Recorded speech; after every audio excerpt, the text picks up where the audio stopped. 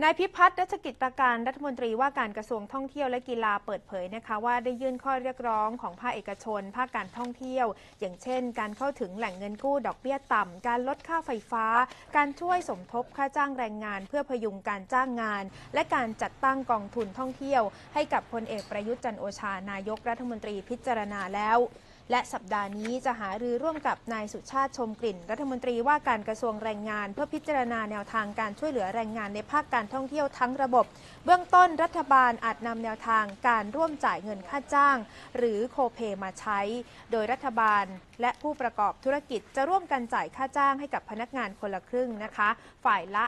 7,500 บาทต่อเดือน รวม 15,000 บาทต่อเดือน ซึ่งยังไม่ได้ข้อสรุประยะเวลาในการช่วยเหลือ เพราะจะต้องพิจารณาวงเงินที่ที่จะช่วย อย่างเช่น วงเงินของกองทุนประกันสังคม หรือขอใช้เงินจากพรกกู้เงิน 1 ล้านล้านบาท